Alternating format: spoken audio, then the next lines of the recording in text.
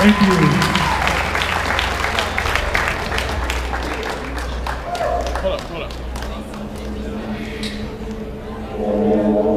This song's about drugs.